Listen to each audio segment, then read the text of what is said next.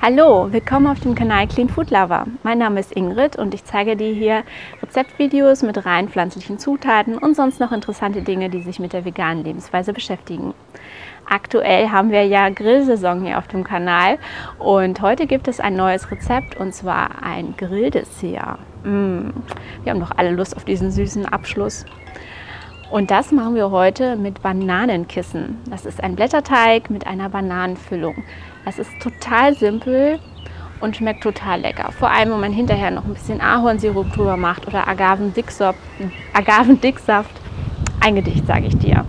Probier es einfach mal aus und ähm, ja, ich wünsche dir jetzt viel Spaß mit dem Video. Wir nehmen eine Banane, schälen sie und schneiden sie in einen halben Zentimeter dicke Scheiben. Dann kommt der Tiefkühlblätterteig.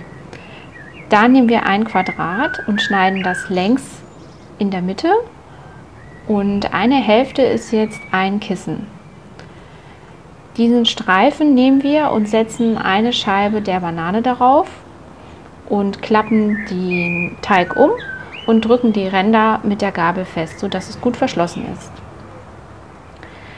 Dann bestreichen wir beide Seiten der Kissen mit Öl, damit es nicht auf dem Rost kleben bleibt.